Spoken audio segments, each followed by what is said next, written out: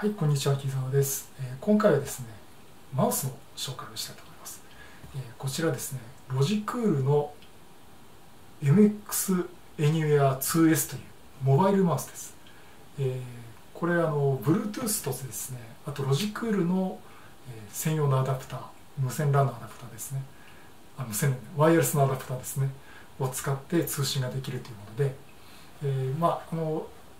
MX マスターシリーズというのもあるんですけどもそれのモバイル版になります。でこれあの特徴が1つのマウスで3台までの、えーデバイスをパソコンサポートできるんですね。で私は今 Surface Pro と MacBook Pro とデスクトップマシン、えーこれをね1台に回して使っています、まあ、あのデスクトップの方は実はこれあのマイクロソフトのねベーシックマウスってこれ実はすごく安いんですけど一番使いやすいんで。まだ優先ですね、えーこういうのを使ってるんですけど。あの同時に使う時はねこれを使っています、えーということでこれをねちょっと細かく見ていきたいと思います。はいということでこちらがロジクールの MX Anywhere 2S というマウスになります。まあ手の大きさ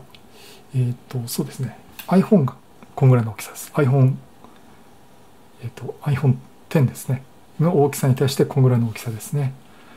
はい、でこれ光学式マウスになっててでホイールがついててあと前後に行くモーターもついています。するとねこちらにも一つファンクションのモーターがあります。でこれあのすごくコンパクトでねモバイルマウスとしても使いやすいですしこのままデスクトップとして使ってもいいと思います。でここのホイールですね。聞こえますかね？こうカリカリってクリック感があるんですね。で一方あのぬるぬるっていうそのクリック感がないモードもできてこれを一回カチッと押します。カチッと押すとこんな風に流れるようにスクロールするということもできます。あとこうえっ、とホイールもね左右にちょっと向いて横スクロールとかもできます、まあ、こんな形であとはここのデザインねちょっと手触りがいいっていうかちょうどこう、ま、指を置くにはちょうどいいかな。いう感じになっています。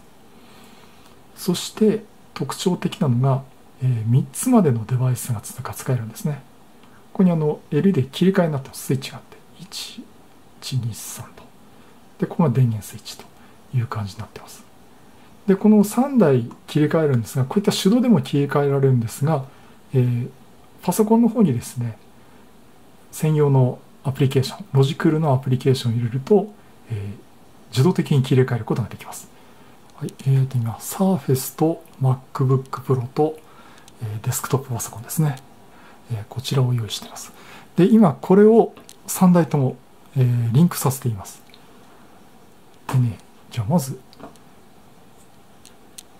今一番端っここの Surface のとこにねこうやってマウスカーソル動いてます。でこのマウスカーソルをそのまま横に持っていくとこれマウスをただ動かしてるだけです持っていくと今度は Mac 側こっちにねマウスカーソルが移ります。でさらにこっち側に持っていくとね Mac からさらにこれ右の方に移していくと今度はデスクトップパソコン側にも動くということで3台のデバイスをですねまるで横にこうつながってるかのようにマウスを動かすことができます。もちろんあのこれスイッチで切り替えることもできます。あの設定によってはですねコントロールキーを押しながら、えー移動させるとかね、えーそういったこともできます、まあ、勝手に移っちゃ困るって方はですねそういうふうに切り替えしてもらってもいいと思います。あとは、えー、とこのファンクションですねこのボタン。これを押すとどうなるかというと Windows だとこういったタスク切り替えの画面になります。こんな感じね。で Mac だと Mac も同様にこれタスク切り替えの画面がウィンドウの切り替えの画面になります。もう一回押すと戻るという感じですね。まあそういうことであのこの3台のデバイスも使えるし普通のマウスとしてもねすごく使い勝手がいいんでこのマウスのおすすめしたいなと思っております。はいということで、ロジクールの MX Anywhere 2S というマウスを紹介させてもらいました。